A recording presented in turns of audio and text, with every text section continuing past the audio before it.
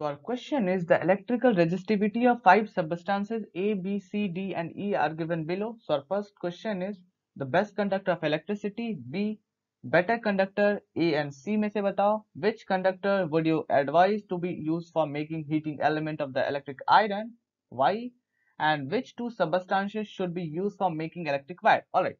तो इस टाइप के क्वेश्चन में हम लोग क्या करते हैं सीधा हम लोग एक फॉर्मूला जानते हैं हम लोग कौन सा फॉर्मूला जानते हैं हम लोगों ने रेजिस्टिविटी में फॉर्मूला पढ़ा जो कि है we know that resistance R is equal to rho L divided by A where rho is the resistivity of the wire, L is the length of the wire and A is the area of cross section of the wire. Okay?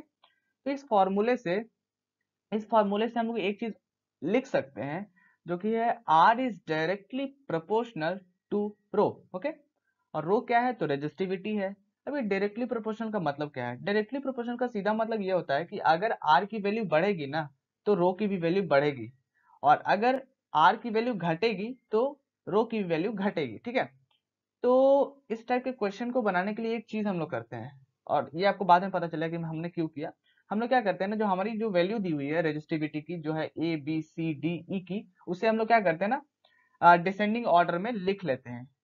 अब descending order में लिखने से क्या होगा? हमें इससे ये पता चल जाएगा कि कौन सी जो A B C D E में से किसकी जो रेजिस्टिविटी है वो ज़्यादा है, किसकी कम है और किसकी बीच में है ओके तो हम लोग लिखेंगे resistivity in the descending order जिसमें बी की जो रेजिस्टिविटी है बहुत ही ज़्यादा है, उसके बाद डी की, उसके बाद ए की, उसके बाद ई e की और उसके बाद सी की ओके अब हम लोग यहाँ से, हम लोग का जो पहला क्वेश्चन है वो है which substance is the best conductor of electricity अब बेस्ट कंडक्टर ऑफ़ इलेक्ट्रिसिटी हम लोग किसको बोलते हैं? जिसकी रेजिस्टिविटी बहुत ही कम हो, ठीक है?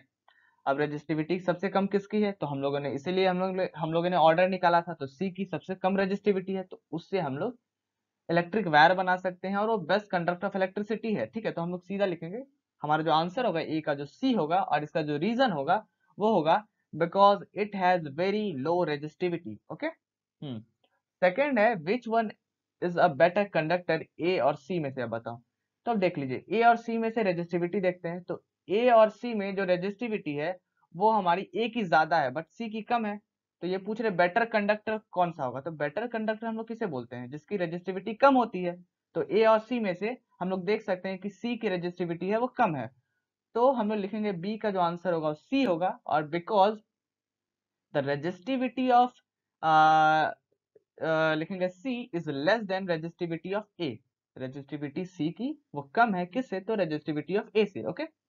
और जो हमारा जो C जो क्वेश्चन है, उसमें है which substance would you advise be use for making heating elements of the electric iron और वाई ओके हम लोग हीटिंग एलिमेंट कैसे बनाते हैं? किस तरह के चीज़ों से बनाते हैं? वायर से बनाते हैं। तो जो हीटिंग एलिमेंट होता है ना, उसका क्या होता है? रेजिस्टिविटी बहुत ही ज़्यादा होता है। इसका मतलब वो जो आपका करंट है ना उसको बहुत ही ज़्यादा रेजिस्ट करता है रोकता है। तो हम लोग अब चूज़ करेंगे A B C D E में से कि सबसे हाई रेजिस्टिविटी किसकी है। तो हम लोग क्लियरली देख सकते हैं कि बी की सबसे हाई रेजिस्टिविटी है सो so, सी का जो हमारा आंसर होगा वो होगा B because it has very high resistivity okay और जो हमारा क्वेश्चन जो डी है वो है which two substances should be use for making electric wire अब ये पूछ रहे कि जो हमने जो आपको डेटा दिया है A B C D E में से उसमें आप बताओ कि सबसे अच्छा इलेक्ट्रिक वायर कौन सा बन बना सक किससे बन सकता है? तो हम लोग देखेंगे कि सबसे लो रेजिस्टिविटी किसकी है?